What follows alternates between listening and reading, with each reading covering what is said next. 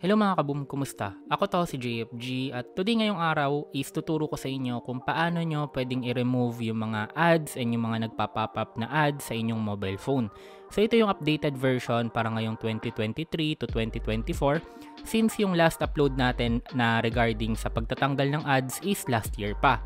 Since alam ko karamihan sa inyo ito yung nagiging problema lalo na nagbabrowse ka lang sa inyong home screen, bigla na lang may nagpa-pop up, naglalaro ka or may pinapanood ka, bigla na lang may kung ano-anong nag appear sa screen mo, nasa Google Chrome ka, di ba akala mo na virus yung phone mo, di mo alam, natadtad lang talaga ng pop-up ads yung inyong mobile phone dahil sa mga settings na hindi mo alam na naka-turn on. Kaya kung yun din yung nagiging problema mo, tara, simulan na natin.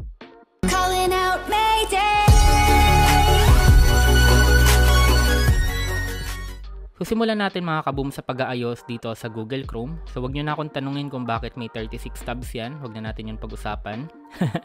so ngayon para mapigilan siya sa Google Chrome, ang una nyong gawin, click nyo tong tatlong dots. Then click nyo ngayon yung settings. Pagdating dito sa settings, hanapin nyo ngayon dito itong site settings. Then hanapin muna natin yung notifications. Yan yung pinakaunahin natin dito. So makikita nyo dito, uh, meron ditong notification, sites can ask to send notification. So pwede nyo yung i-turn off or pwede nyo nilang i-check tong use quieter messaging, blocks notification prompts from interrupting you. So isa to sa magandang features ngayon ng Google Chrome kasi hindi na lang basta-basta na may nagpa-pop up na notification sa inyo or bigla na lang may kung ano-anong nag appear dito every time na nagbabrowse kayo or may ginagawa kayo sa inyong mobile phone.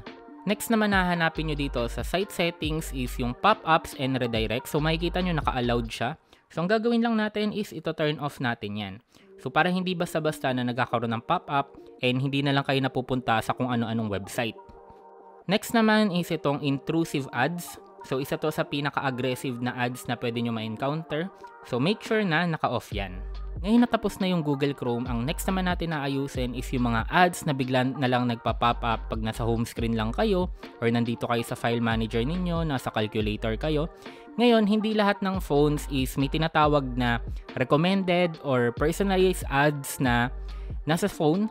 Ngayon kung ang gamit mo is yung brands na katulad na lang ng Realme, Xiaomi, Infinix, yun yung mga brands na sobrang mura ng mga phones pero para makabawi sila sa kanilang sales is naglalagay sila ng mga pop-ups or mga ads sa kanilang cellphones. So para ma-turn off yon like for example sa inyong file manager, minsan bigla na lang may nagpa-pop up dyan na ads. Ang gagawin nyo, open nyo yung file manager, click nyo yung settings, yan, makikita nyo sa settings. Then pupunta kayo ngayon sa about, and may makikita kayo dito ngayon na recommendations. Ang gagawin nyo, ito turn off nyo yan. Uh, example lang to for Xiaomi ah. Kung naka Infinix kayo, naka Realme or other brands na may mga nagpa-pop up din na ad sa inyong um, apps, is punta lang kayo dun sa settings tapos hanapin nyo kung may personalized ads, recommendations, ito turn off nyo lang yon. Next naman natin ayusin is yung personalized Google Ads na karamihan kasi ng applications minsan pag ino-open ninyo, alam niya or nade-detect niya kung ano yung ginagawa ninyo. Kaya minsan sobrang aggressive niya na uh, may nabanggit lang kayo like for example na Pansit Canton, magugulat ka na lang may ads na mag appear sa inyong phone about Pansit Canton, 'di ba? So ang gagawin niyo, punta kayo na settings, then hanapin niyo ngayon yung Google. Yan, hanapin niyo yung Google. Then makikita niyo may nakalagay siya ditong ads. So ang gagawin niyo, itong ad privacy. Okay, ta-turn off niyo lahat to from ad topics, app suggested ads, and ad measurement. So lahat yan is ito turn off natin. Ngayon, hindi ibig sabihin nito na tuluyan nang mawawala yung ads pero mas mababawasan yung ads kasi hindi niya na-detect yung activities ninyo. Ngayon after nun mga kabum, ang gawin nyo naman is punta naman kayo dito sa manage your Google account. Okay, click nyo yung manage your Google account then click nyo yung data and privacy.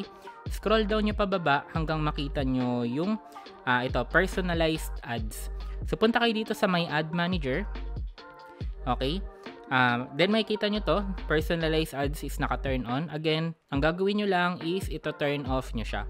So katulad kanina, hindi tuluyang mawawala yung mga ads na nagpa-pop up sa inyong phone pero kahit papano is mababawasan siya kasi nga hindi niya nade-detect yung activities na ginagawa nyo. Hindi siya mayat maya, may pinag-usapan lang kayo na certain thing tapos yung pinag-usapan nyo is mag appear agad maya maya sa inyong phone.